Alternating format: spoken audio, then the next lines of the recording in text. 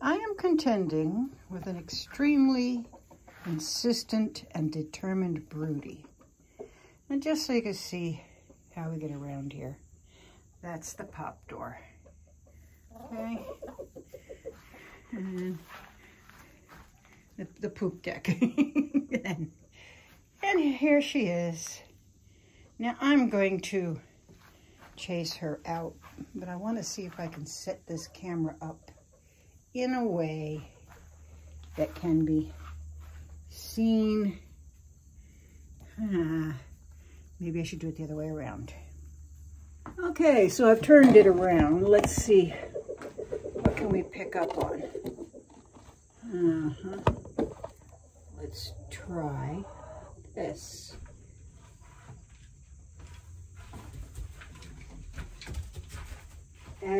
Eggsmerelda.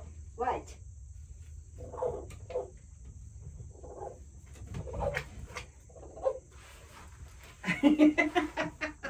Look at that fluffy butt. Your fluffy butt. Yes. Okay, I'm going to put you here for a minute just so they can see what you do. Ah, oh, fluffed. All fluffed and mad at me. Are you all fluffed and mad at me? Go out the door. Go on. Scoot, scoot, scoot. Go on. Go on. Scoot, scoot, scoot. oh. So I am going to... Here she comes around. Come on. Here she goes. Down the ramp. And... Hmm. Mm-hmm. All right, little miss. Come on back out.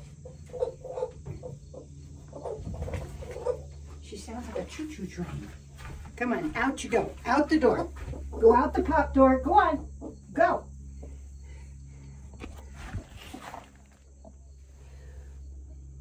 Go. Go. Go on. Scoot, scoot, scoot. Scoot, scoot, scoot. Mm -hmm. I said scoot, scoot, scoot. Tuk, tuk, tuk. You sound like a choo-choo. No, sir.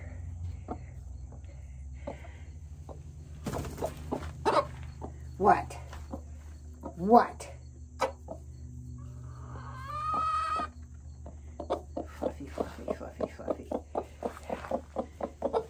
This is what, her second time? I don't know. This might even be her third time this year. There she goes back in. Hello. There's my Doris. Doris raised my first brood. And um, I really wish it had been her. I can't really afford to have another brood going right now. Can I? Can I? No, not now. Hmm. I'm going to bring you back out. Let's see what we can do.